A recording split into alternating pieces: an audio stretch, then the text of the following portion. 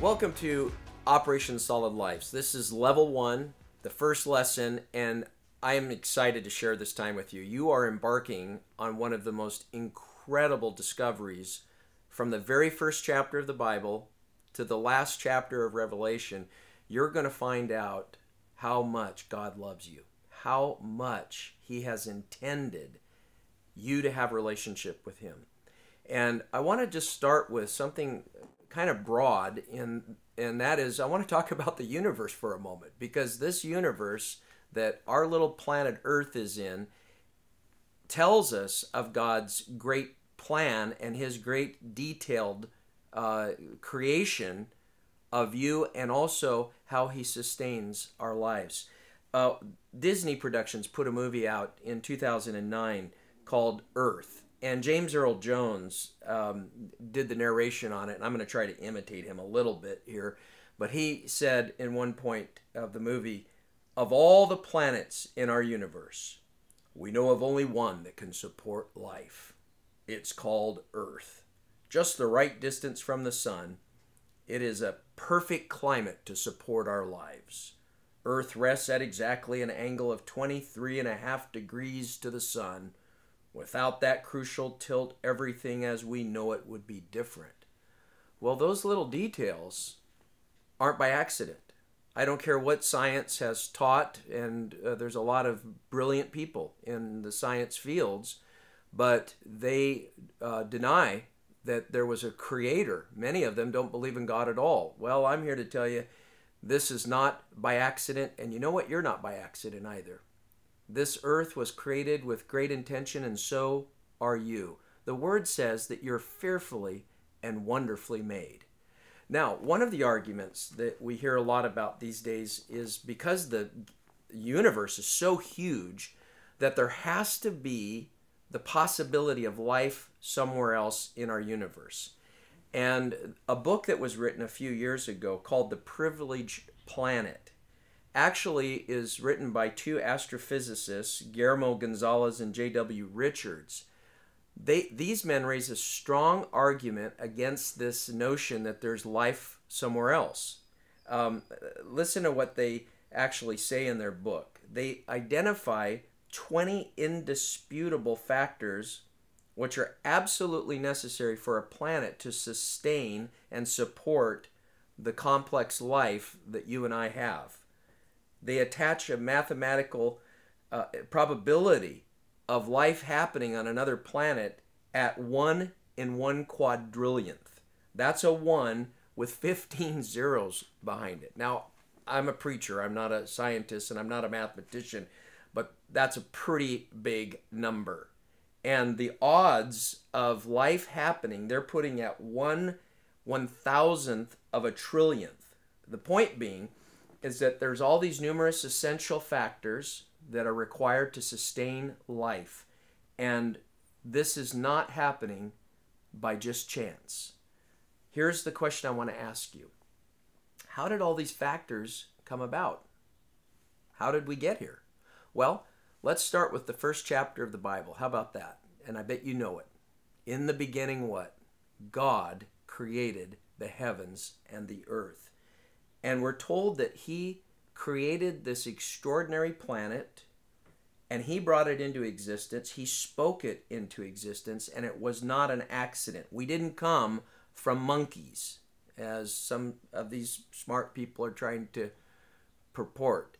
Now, I heard that one time that we didn't come from monkeys, and I thought of a story where a, a kid had come home from school and he, he said, Mom, where did we come from? And she said, Well, God made us, honey. And so then he went in and asked his father, Dad, where, where did where did we come from? Well, the dad said, Well, son, we I, we came from monkeys. So the little boy came back to his mom and he was kind of confused and he said, Mom, Dad said we came from monkeys. Mom looked at the little boy and she said, Where his family came from and where my family came from are two different questions. I love it. What I want to show you is that right from the very first chapter of the Bible, how God not only powerfully, creatively, intentionally, but lovingly created you. Listen to Genesis 1. In fact, I'd like you to turn in your Bibles to Genesis 1 and let's go to the third verse. Okay, Genesis 1. Let's find verse 3. Listen to this. It says, Then God said, Let there be light, and there was light. Verse 4 says, And God saw the light, that it was good, and God divided the light from the darkness. God called the light day, and the darkness he called night. So the evening and the morning were the first day. So here's what we're being told. We're being told here that God made day and night. Now, I don't know if that seems all that special to you, but I love light. I, I like the sun when it comes up in the morning, and I like darkness too. It's hard to sleep when it's light out. Um, in fact, I'm having a hard time sleeping past sunrise these days. But sunrises actually are created. They can prove this. I've talked to a doctor at Scripps Clinic uh, who's in charge of the, the Sleep Institute there, uh, Dr. Klein.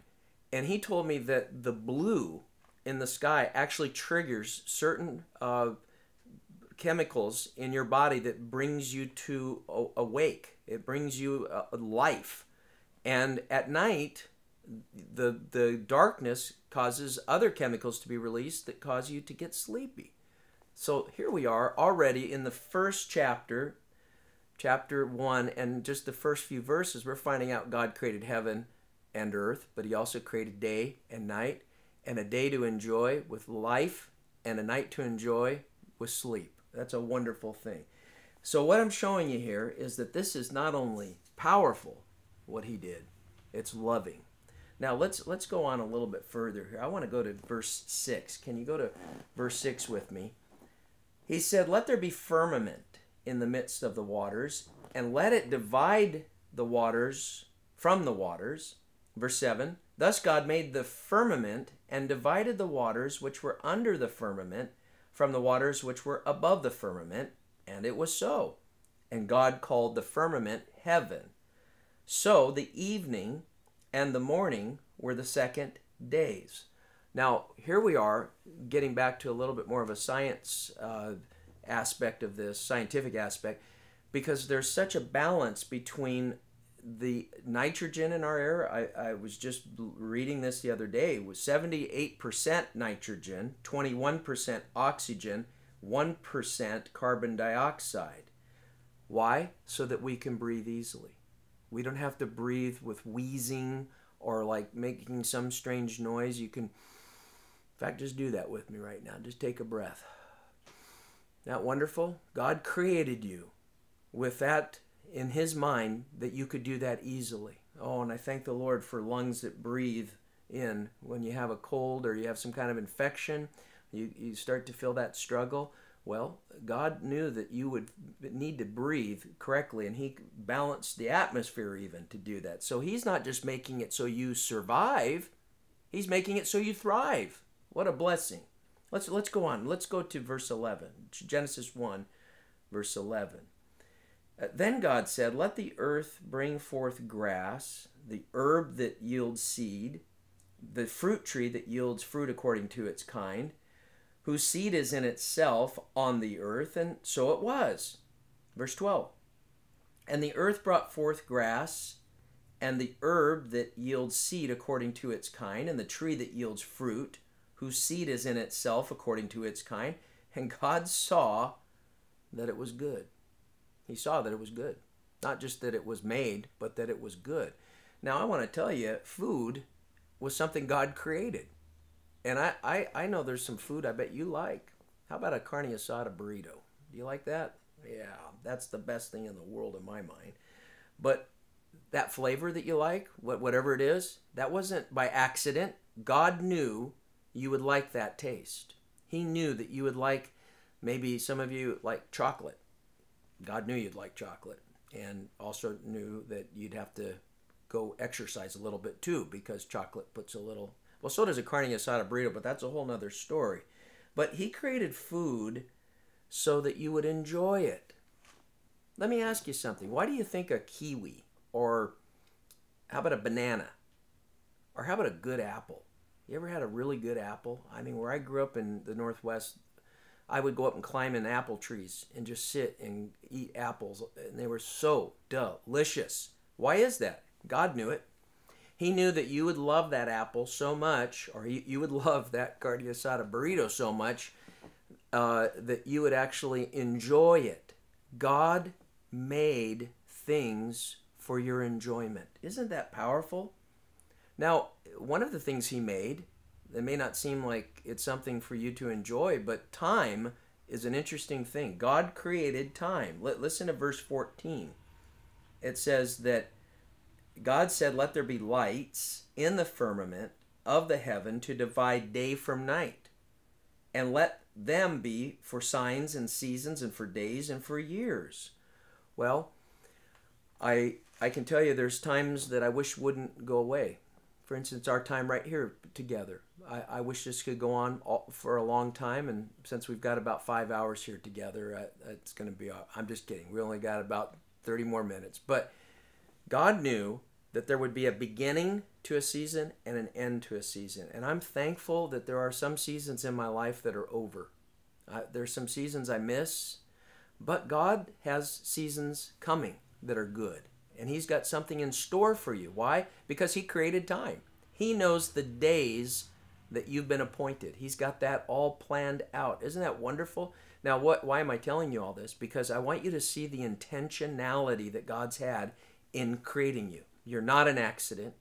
His hand has been very intricately involved in your creation. Now, as we go on here, in verse 16, it says, God made two great lights. And these great lights were to rule the day, and the lesser light was to rule the night. So he made stars also. I've had the opportunity this last year. My friend uh, who pastors in Cedar City, Utah, Pete Akins, is a blessing to me. He runs the ski school at Brian Head, and I've had the opportunity to go up and help instruct. I'm a pretty good skier, and I, I enjoy it. And I was up there one night with Pete. We got out of his truck, and we he just said, "Look up." And I'm going to tell you, I looked up into the sky, and uh, it blew my mind. I, I mean the the unbelievable clarity of the Milky Way, and you could see satellites going by, and there was planes flying, and and a falling star, and uh, it took my breath away. I, I could almost get choked up about it right now. Why why is that beautiful? Is that just by chance? See, God created that because he knew you would enjoy it. He knew that Joel Phillips would get out of a truck in Cedar City, Utah, and his buddy would say, "Hey, look up," and I'd look up and I, and I almost can't even imagine what how gorgeous that was. God created that. He knew you would like stuff. He knew I would like stuff. So here we go. All the intentionality, all the power in his creation, all of the dynamics that were involved. Imagine when when he was creating this universe. Ah, but it's also the love of God in the creation process. That's what I want you to see. Oh, isn't this great? Now, we're told here in verse 20. Look at verse 20. We're still in Genesis chapter 1. It says, Then God said, Let, let the waters abound with abundance, and let them be abounding with living creatures, and let birds fly above the earth across the face of the firmament. Uh, and so God created, verse 21 tells us, a great sea creatures and every living thing that moves, and uh, also with which waters abounded according to their kind, and every winged bird according to its kind. And God saw that that was good. Have you ever gone to a big aquarium? We've got a couple in California, and uh, I, I'm telling you, you got to go. You just need to go and see what things look like underwater. Have you ever seen a seahorse? so that's just an accident, huh? That little seahorse, it actually looks like a horse. And how it swims, I don't know. It's cutest thing in the world. And the other fish that they've got in some of these places are just amazing, beautiful, not by chance. God created them, but here's what I want you to realize He created that little seahorse, for instance. Or how about this? I was thinking about this the other day. You ever seen these little sea otters? They are so adorable. and they get these uh, sea urchins and they break open the parts of the sea urchin so they can eat the inside of the sea urchin. They do it on their little chests, and I, I don't know, they're just the cutest thing in the world. Why is that? Why are they cute? Because God knew that I would think they were cute. He knew that you'd like that. Well, how about your dog? you have a dog you like or had a dog you love? I'll tell you what, God knew that that dog would be a special friend for you. He knew that that dog would be a buddy. So God created dogs because he knew we'd like them. Now the devil created cats, but that's a, a that's a whole nother story. But no, honestly, I like cats too. But God created these things with that intention, with that intention of pleasing us, of having us enjoy things. Let's go on a little bit further here. Uh, verse 24 God said, Let the earth bring forth the living creatures according to its kind cattle, creeping things, beasts of the field, each according to its kind, and so it was. Verse 25 God made the beasts of the earth according to its kind, cattle according to its kind, and everything that creeps on the earth according to its kind. And God saw that it was good. He saw that it was good. So when He's created these animals, we're, we're told here that it, uh, animals of the field and animals that creep on the earth. Uh, there's animals that uh, creep on the earth that give me the creeps. I was just taking a hike the other day and I saw a rattlesnake, and I don't like those. Don't like them. And there are uh, parts of the curse that we see, but initially, all of these things, in fact, uh, Satan comes as a serpent and talks to Eve. Fascinating and evidently was not a threatening uh, type of animal, the serpent at that point, because the curse had not been put on it. Well, what we find now is that these animals were also created, though, for our use. And I, I'm all for being kind to animals. I, I believe that's very important. But to equate an animal with man, who's made in God's image, is, is not what the Bible teaches. These were made for our enjoyment and also for our use. Now, um, I'm glad that somebody figured out how good cattle taste. Uh, if you're a vegetarian, uh, I, I feel bad for you because there's nothing better than a barbecue steak. That's one of the best things in the world. And what, what is enjoyable about it is not only the barbecue flavor, how about that smell? Now, why is it that that smell of that barbecue steak or a hamburger I'm, I'm hungry. I could go down a whole list right now.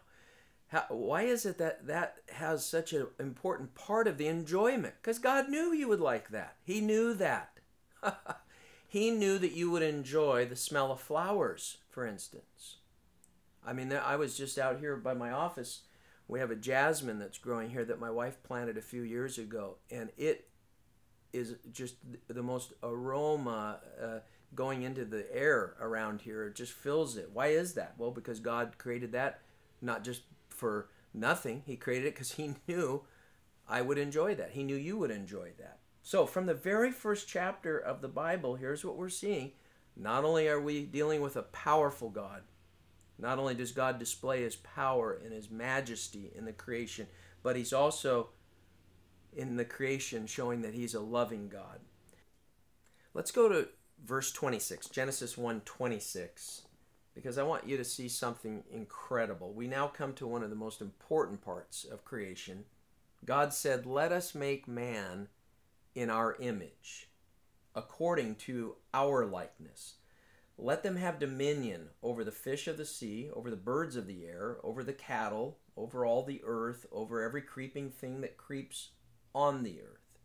So, Look, look at that. After God makes this wonderful place, this earth with all of this intention and all of this beauty and all of these things that are so enjoyable, he now creates man in his image to enjoy these things.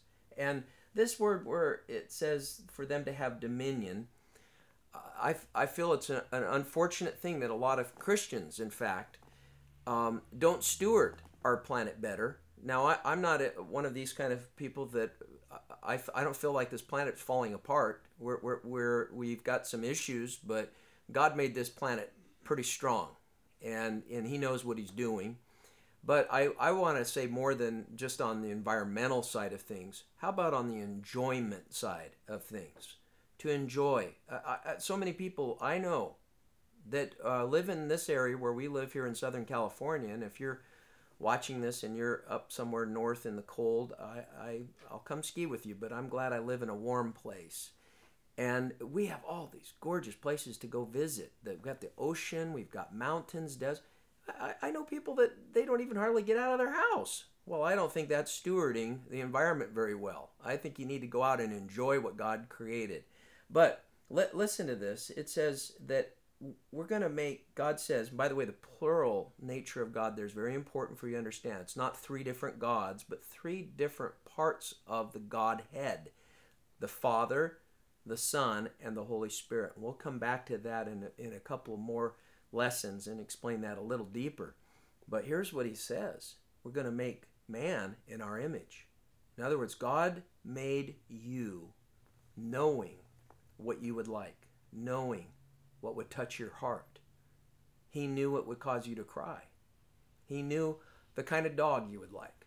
He knew the kind of smells you would enjoy. Just think for a moment with me. Think of food again. I, I, I know, I, I told you I was hungry, but all the delicious things that you've eaten, why are those delicious to you? Because you're created in God's image and He knows what you like. He knows that you'll enjoy things that that can be savored and smelled and looked at.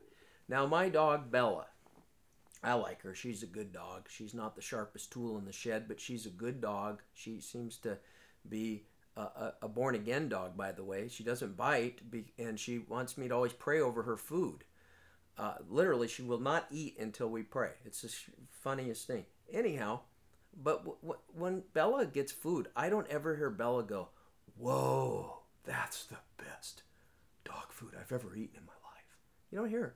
But but uh, I'll tell you what. I, I heard my friend the other day when we were at we were at a new little taco stand here in Escondido, and we got some.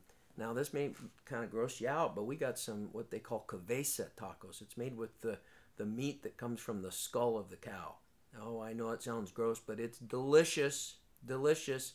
And I heard my friend he was eating one, and he goes, mmm, mmm, mmm, mmm. Why is that? Because he's created in God's image. Isn't that sweet? I know this is such an important thing for you to get a hold of because some of the things we take for granted, God didn't. He didn't take them for granted. How, how about if you live here in Southern California, we we have these beautiful flower fields. For instance, over in Carlsbad, uh, right on the ocean, they have the flower fields there that they grow these flowers called ranunculus. Oh, I mean, the colors, it, it, it is just the most beautiful thing in the world. And how can you drive by those flowers and not at least look? I mean, I don't care if you're into plants or not, that's going to catch your eye. Why is that? Because God knew you would enjoy that. He knew that we would have senses that would be stimulated by certain things. Now, think of, of scents and smells. Uh, we haven't talked a whole lot about that, but when you smell something, whether it's a barbecued steak or a flower, you're doing that because God gave you that ability to discern things, to discern smells, to discern tastes. How about sounds? I, I was just thinking of some of the sounds that touch me uh, and kind of get get a, a, blessing to me um, in the morning as the sun's coming up, all the little birds, especially this time of the year, they're all getting ready. They're nesting, getting ready to have their own little families and whatever. Uh, in fact, we had a little hummingbird build a nest. I don't know if you've ever seen a hummingbird nest, but it's a fascinating little thing. It looks like a cocoon.